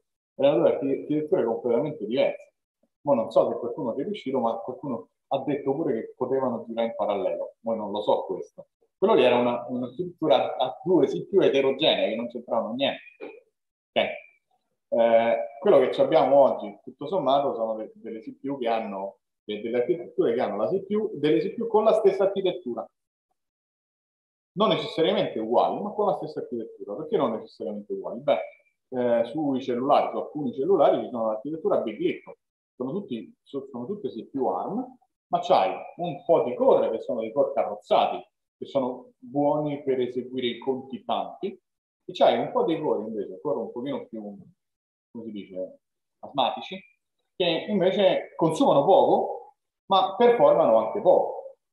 Ok? E allora è tuo interesse scegliere, in questo caso, dato un tipo di applicazione, potrai decidere se farla girare su un core a basso consumo, perché magari quell'applicazione ha bisogno di poca, cioè dei quanti piccoli se svegli ogni tanto, l'utente non realizza che sta girando su una macchina più lenta o su una più, più lenta, quindi eh, puoi avere delle, delle architetture, la, cioè quindi la stessa, un'architettura, un ISA, Instruction Set Architecture, omogeneo, però delle CPU che hanno delle diverse capability. Quando vai a fare un kernel, tu puoi fare un kernel per multiprocessi, tu puoi fare un kernel di due tipi. Il primo kernel, i primi kernel Linux che supportavano più processori erano asimmetrici. Cosa vuol dire? Solo uno dei core eseguiva il kernel. Il core esegue il kernel e, questo, e tutti gli altri eseguivano eseguiva il kernel e i processi. Tutti gli altri core invece eseguivano solo processi. Questo è bello dal punto di vista del kernel developer, perché se c'è solo una, un core che esegue il kernel, vuol dire che le strutture, da, io non devo implementare dei meccanismi di lock tra le strutture, c'è un unico kernel thread. Se cambio una struttura dati vuol dire che so io a cambiare. Ok? E quindi è facile. Se invece vogliamo più, e adesso è quello che c'è praticamente tutte le macchine SMT, se invece vogliamo, e delle volte è utile, che più processi, più, più un, processi siano in grado di entrare simultaneamente all'interno del mondo, diciamo così, più, ovvero che, che, possono esistere più kernel thread, quindi, eh, eh, allora se vogliamo che eh, il kernel possa essere eseguito su più CPU in parallelo, meglio, allora ehm, quello che dobbiamo fare da un punto di vista di kernel è mettere un sacco di lock perché abbiamo visto che altro non è che una gigantesca struttura dati, beh, se io ho due attori che vanno a manipolare quella struttura dati in parallelo, io mi devo garantire che esista la consistenza. Ok? Quindi il kernel SMP è pieno di spin lock. No, di semafori, spin lock. L'avete visto gli spin lock? No? While not true, punto e virgola. while not b, dove b è un booleano, punto e chiuso. Questo è uno spin lock. Ok? Uh, però non è che gli sono spin lock apposta, perché ci mettono poco tempo, non è che eh, stai lì a caldare la macchina, cioè, cosa istantanea la cosa. Eh, quello che potete fare, anche quello che vi ritrovate, è una sorta di processo raffinito sugli schedule attuali. Potete anche dire allo schedule, quando lanciate un processo su Linux, mo, domani magari ve lo faccio vedere, eh, potete dirgli esegui questo programma su quella particolare sezione o esegui questo programma su quell'altra particolare sezione. Ok, questo è quello che i kernel, che i kernel eh, attuali, che i multiprocessor scheduler ti offrono.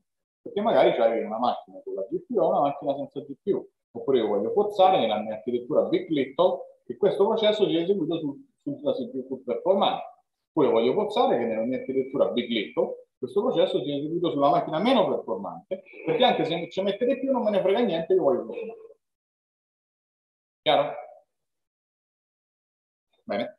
Questa cosa qua si chiama processor affinity. No, non mi ricordo quali, quali sono le istruzioni, ma Leonardo sicuramente lo sa, quali sono le utility per loccare un processo ad un core oppure per suggerire ad un processo di andare a un core. Quando locchi un processo ad un core, cioè dici questo processo può essere eseguito solo su quel core là e magari quel core è l'unico ad eseguire quel processo, quindi è duale, tu hai vinto una cosa, hai vinto la cache consistency. Perché la cache di quel processore sarà dedicata, di quel core, sarà dedicata solo a quel processo. Quindi non è una cosa necessariamente malvagia da fare. Pu puoi taroccare le cose in maniera tale da far piottare il tuo programma più di quanto pensi. Ok? Eh, quindi abbiamo la soft affinity, quindi suggerisci, oppure add affinity, gira l'app e basta. Eh, l'ultima cosa che vi dai, dai, che ci, sono, ci abbiamo quasi fatto, dai, finisco lo scheduling così. L'ultima cosa di cui vi parlo, e poi eh, andiamo sulle, valutazioni, sulle valutazioni dello scheduler, è l'ultima categoria di scheduler sono i real-time scheduler, che sono quelli che avete di automobili e anche in ogni dispositivo automatico, tutto sommato, oggi c'è un real-time schedule. Ah, qual è la caratteristica del real-time? Intanto parliamo di software hard real-time. Un esempio di software real-time è un playback video. Software real-time cosa vuol dire? Beh, cosa deve fare un playback video? Deve garantire che hai un frame, almeno 30 frame al secondo e soprattutto devi tenere piene le code della scheda audio. Ok? Questo è quello che deve fare. Se non succede niente, beh, ti scatta un pochino l'immagine oppure che, che si blur, ok? Oppure l'audio di glitch, se non ce la fa. Però non ti casca l'aereo. Quindi al real time si utilizzano dove i task sono, sono seriously mission critical, eh, cioè, mh, mm, per esempio quando devi implementare dei programmi che controllano de, de, delle centrali o dei, dei, dispositivi automatici, dei motori, eccetera, eccetera. Quando avete visto a eh, controlli automatici, ma avete detto che avete fatto la trasformata Z, no? Sì o no? Avete visto che un, un sistema si può trasformare dal dominio di Laplace al dominio Z. Ve lo ricordate? Un sistema può essere tra trasformato da tempo continuo a tempo discreto. Nel momento in cui lo trasformate a tempo discreto, una cosa importante che voi fare, fate è stabilire la costante, la durata de, de, dell'integrazione, la durata in cui il, e cambiare la durata cambia proprio i parametri del sistema quando fate questo. È importante quando a implementare uno di questi sistemi su un computer, è importante garantire che il quanto di tempo in cui il controllo automatico verrà eseguito rispetti il quanto di tempo che hai utilizzato per calcolare i parametri del controllore una volta discretizzato attraverso passando la trasformazione al dominio della Z. Se tu sgarri questo tempo, la macchina si rompe. La voce rompe delle volte. Senti, che fanno... Ok, quindi ora io la mia tendenza quando faccio questo tipo di cose è che il sistema operativo non ce lo mette. No? Ma attacco al clock, attacco al timer e, e via. Perché sono vecchio, vecchia scuola. Nei sistemi moderni no, hanno aggiunto molto software e quindi ci sono dei sistemi operativi real time, QNX o altro, che ti permettono di specificare dei task che devono essere eseguiti in real time. Cosa vuol dire real time? Vuol dire che un, un, un task è caratterizzato da, lo dico dopo, è caratterizzato, un task real time, un task ciclico, immaginate un controllo automatico, okay? è caratterizzato da un periodo. Ogni quante volte devo fare questa operazione, cioè quanto, ogni quanto si ripresenta questo task che io devo fare. Periodo. Poi c'è una una durata della computazione, quanto tempo ci metto a calcolare i parametri che poi dovrò mandare in uscita, secondo quantità, quindi T, e la terza quantità è la deadline. Una volta che io ho calcolato questi parametri, io dovrò anche propagarli fuori magari, perché magari dovrò mandarli a un attuatore, a un dispositivo e quant'altro. Quindi io non è che, non è che la, mia, la mia deadline, quindi io devo aver finito quelle quattro, cioè, ogni mattina io devo venire a fare lezione. Eh, questo è il mio periodo, no? quindi sono 24 ore. A fare lezione ci metto due ore. No, però non, cioè, non va bene perché manca la deadline. Eh, eh, come posso mettere la deadline? Oh sì, uh, fare, ogni, mattina, ogni mattina alle 11 devo fare conto, devo venire qua a fare lezione. Io al massimo posso finire, posso metterci al massimo due ore per fare lezione. Al massimo due ore, perché dopo arriva il professore dopo. Quella è la mia deadline. Però io a fare lezione ci metto un'ora e venti. Eh, quindi un'ora e venti è la durata del task, il, il, il tempo di, di, di processo. Io devo aver finito in due ore e mi ripresento eh, il giorno dopo alla stessa ora. Quindi 24 ore è il mio periodo. La mia duration è due ore e il mio tempo di CPU, fai conto, è eh, un'ora e venti. Okay, questo è un esempio no, di, di task. Allora, io sicuramente quello, eh, la cosa importante è che io non posso violare la deadline, perché se violo la deadline vuol dire che in questo punto io non riuscirò, non avrò magari abbastanza margine per controllare quell'attuatore se non riuscirò a mandare a quel controller, a quelle alette, a quel, quell'elica del quadrotoro o quant'altro, no, non riuscirò a mandare il comando in tempo. Ok? Chiaro questo? Però io per calcolare il comando per forza ci devo mettere meno tempo della sua deadline, questo è ovvio. No? Se ci metto di più, non si può fare. E ovviamente la deadline deve essere inferiore a quello. Pacifico? Banale. Okay. In uno schedule di questo tipo tu puoi avere diversi task che concorrono. Ovviamente questa cosa qui deve essere rispettata, quindi il, il, il tempo di esecuzione deve essere minore della deadline e deve essere anche minore del periodo, perché se no non si basta. C'è un test di schedulabilità che si può fare sui processi real time per vedere, dato un insieme di processi che hanno certe caratteristiche, ce la faccio a schedulare in real time o non ce la faccio? La cosa bella dei processi real time è che tu sai esattamente quanto si mette. E tu molto spesso sai quanto dura questo tempo T qua. Perché quando vai a scrivere dei programmi real time, mission critical, tu non puoi fare memory allocation. La memoria la alloghi tutta staticamente. Ok? Oppure puoi usare dei pool allocator ma controllati, come delle sorte di strutture dati. Perché? Perché la memory allocation non, cioè, a quel punto diventa una sorta di struttura statica. Perché? Perché la macchina deve essere garantita che se manca la corrente riparte, riparte, tu puoi ripartire più o meno stesso, dalla stessa configurazione. Poi credo che sia per dei, dei motivi eh, che se tu hai una, una malloc vera o se tu hai un sistema operativo vero, tu puoi avere segmentation fault, violazioni o quant'altro, mentre invece se fai un processo che è, eh, lavora tutto in memoria statica, parliamola così, eh, quindi preallochi le strutture all'inizio e poi lavori sempre su quelle strutture. Prima di tutto, molto spesso tu devi fare dei task di controllo, quindi non è che ti cambiano le cose in corso d'opera. Tu, tu hai un input e devi produrre un risultato. Questo è quello che tu fai. Questa è la prima cosa. E poi perché eh, questi programmi ovviamente vengono valutati proprio con dei, degli analizzatori o dei software che vanno a vedere tutti i possibili casi, perché prima mettere uno di questi software, di questi pezzi di programma su un aereo, devi essere un attimo, no? devi andare in campagna. Quindi fanno un'analisi statica del codice per vedere se le cose, se le cose funzionano. Ma la cosa che si fa è un test di schedulabilità. Mi viene in mente una cosa ovvia che vi può dire immediatamente se i processi, se un insieme di task può essere eseguito o no da una macchina. Ovviamente questa è una condizione necessaria. Ma qual è un'altra condizione ovvia?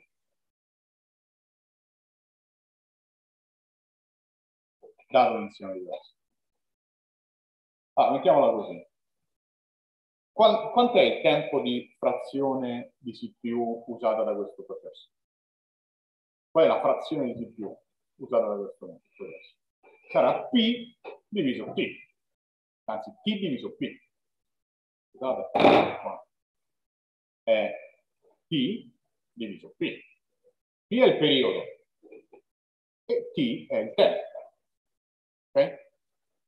Quindi un test di schedulabilità banale è che tu calcoli la frazione di CPU utilizzata da ogni processo, le sommi, se la frazione di CPU, se la somma di queste frazioni è maggiore di 1, vuol dire che non si può fare, perché non ti basta la CPU per evadere quel caso. Quell'insieme di No? Non è ovvio? Quindi questo è il test di schedulabilità di un insieme di processi. Ora, vediamo un po' se ce la faccio. 12.44, mi leggete ancora oppure siete stanchi? Vuole andare a mangiare? Mi fate? No. Vabbè, dai, andiamo a mangiare. Ciao, continuo domani.